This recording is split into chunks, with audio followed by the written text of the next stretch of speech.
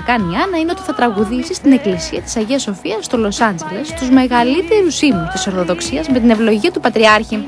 Θα τραγουδήσω ύμνους όπως το Όγλικη μου εαρή το έγινε, πάσε. Μιλάει όμως και για τη ζωή που κάνει στη Νέα Υόρκη. Δεν ζω χολιγουντιανές πολυτέλει, λέει η Άννα, δεν είμαι τέτοιο άτομο.